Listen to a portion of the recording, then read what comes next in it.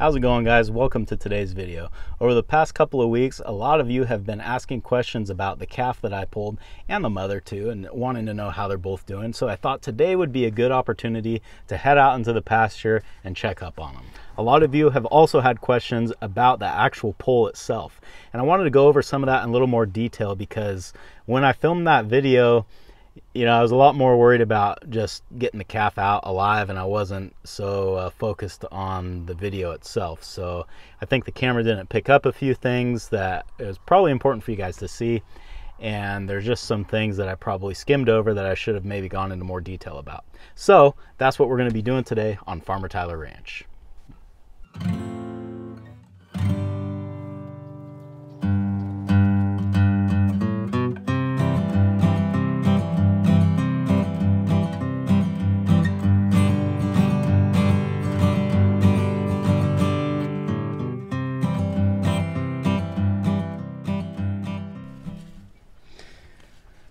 All right, well, there is Lucky 13 and her calf.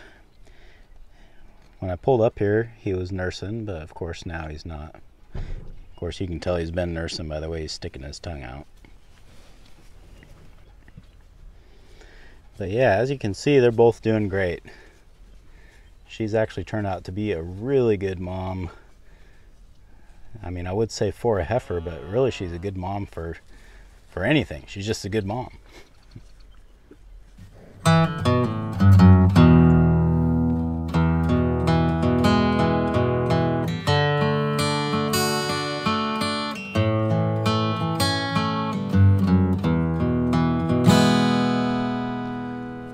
So quite a few people asked me if the uh, pulling on the calf with the chains like that was going to hurt it, or they suggested that I use uh, straps. I think was what somebody said. So there you go. You can see he's walking really good now. No signs of limping or anything like that. So a lot of people also expressed concern for mother here and I appreciate that. But yeah, she is also doing really good. I haven't uh, noticed anything wrong with her either.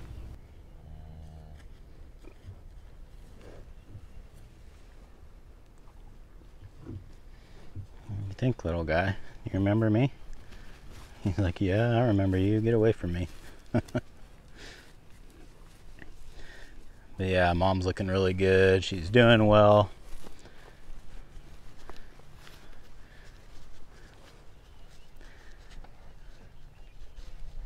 really not much more to say about it.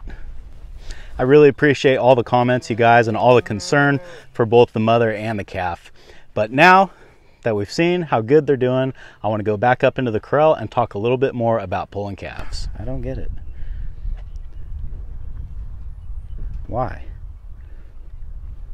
All right, guys, so we're back up here at the squeeze chute, and I just wanted to, like I said before, just kind of go through in a little more detail what I did um, while pulling the calf and kind of some things that you should be thinking about if you ever find yourself having to do this yourself. Here we are on the business end of the chute. For the purposes of this demonstration, I'm just gonna use the butt gate on the chute and tie my calving chain to that, and we'll just treat that as if they were hooves that the chains were tied onto. So I'm just gonna pick a bar on there that's about the right height of where the cow would be, and we'll go from there. So if I were pulling a calf, I would say the business is gonna be happening right about here. So I'm gonna go ahead and put the chain right there. Now, chain wouldn't normally be that long, so I'm just gonna wrap it a few times just to try to make this as kind of realistic as we can.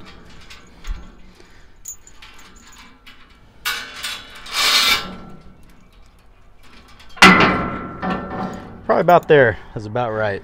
Now, as we look to the back of the chute for a place to anchor to, there's really nothing except for this butt gate that I added here. Now, when I built the tub and alley, I actually made this butt gate not only to stop cows from backing out of the chute into the tub, but I also designed it so that it would be a good anchor point for me to pull calves from. So I've got the one, two, three different options of where I can tie off to. Honestly, well, you know what? Let me get it down in position and let's talk about it a little bit more.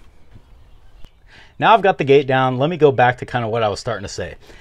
This top bar here is honestly too tall. Um, I, I, would, I would really never pull from that. That's really more just to keep the cows from backing up. But this middle bar and the lower bar are two good options for pulling on cows. Now, the middle bar would probably be for a pretty tall cow. Honestly, the majority of time when I'm pulling calves, it's going to be on heifers, which are generally smaller, especially if they're having trouble giving birth. So most of the time I'm using the bottom here. There's really no trick here. Um, any kind of knot you want to do is going to work. I kind of tend to uh, prefer something that I can undo though when it's all done with. That's why I like using these straps because they got the loops here and you can just easily loop it like that and it's really easy to get off when you're done. I've got my anchor tied on. Whoa. I got my calving chains on my calf. The only thing missing now is to hook up the come along or whatever you're gonna use to actually pull the calf with.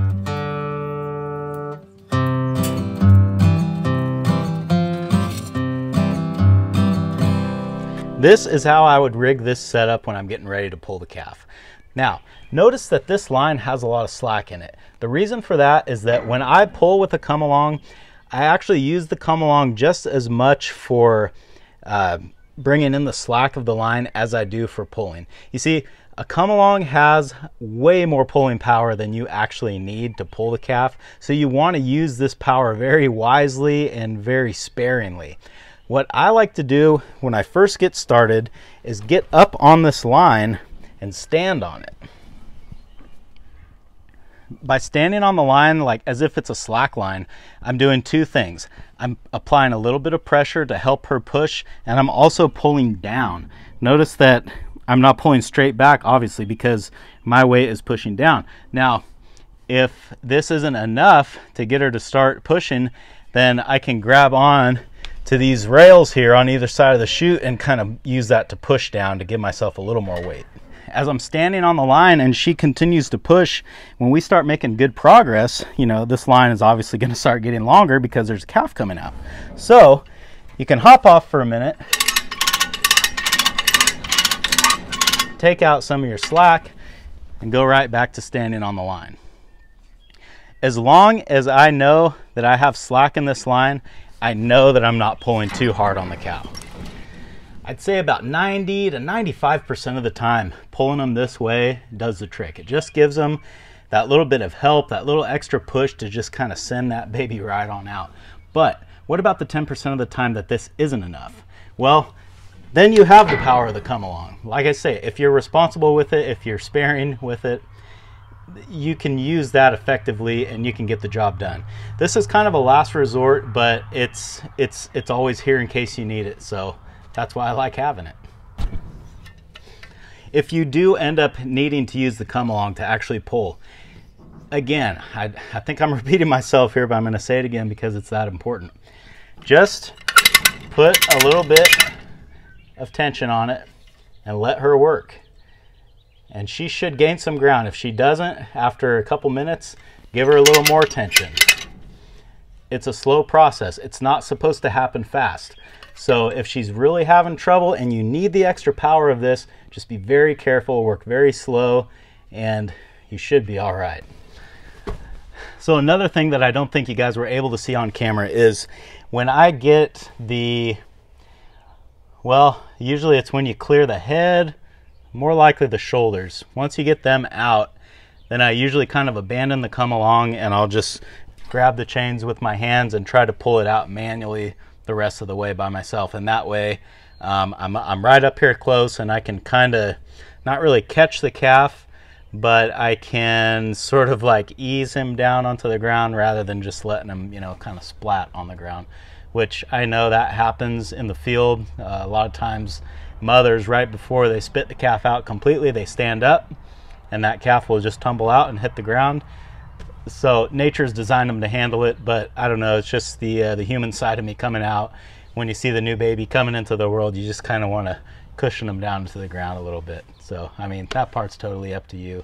You do what you think is right as far as that goes I hope this clears up some of the questions you guys had about how I do things in here. And I hope that if you've never pulled a calf before, but you, uh, you live a lifestyle where you might actually have to do that one day, that this gave you some things to think about, some things to consider, and, um, you know, just some ways to get you prepared for when you do have to do that because something like this you it's good to have a game plan or kind of a general idea of what you're going to do when this or, or honestly when any emergency happens i mean it, the last thing that you want to do is just react to it. It's nice to have a plan and just kind of like know what you're going to do and not have to figure it out while you're dealing with the uh, the stressful situation.